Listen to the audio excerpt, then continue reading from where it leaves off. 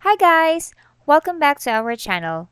In today's video, I will show you how to remove a number in FaceTime.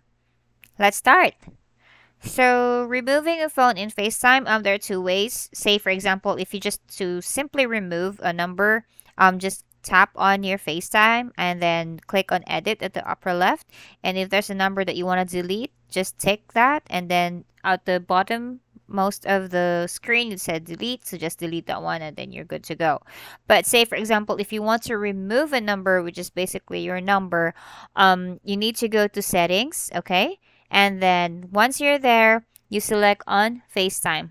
So for FaceTime guys once you tap on that there is an option there where it um, it's showing your um, phone number and underneath it also has your Apple ID. You need to make sure that um, it's under the um, you can be reached at section where it has this number and all you need to do is just to disable that. So I save a screenshot here for you. So just to make sure that you know how it looks like.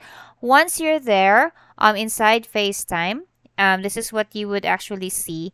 We're in once you've already um, tap on that one to edit and then if you want to remove, then you'll be able to get this notification. Remove number from iMessage and FaceTime. This number will no longer be used for iMessage and FaceTime, all your devices. You can still use it for regular phone calls and SMS. So if you are sending iMessage, um, if you notice on iMessage for iPhone users, it's colored blue for the text bubble but if let's say you're no longer iMessage um, you're no longer using iMessage or if it's not activated then your uh, text bubble will just be green so that you know identifies that you're no longer using iMessage so you could also go to support at apple.com where it would give you a step-by-step instruction on how to set up or remove your phone number um, in iMessage or FaceTime. So there, I hope you learned something today. If you like this video, please hit on like. Thanks for watching. Goodbye.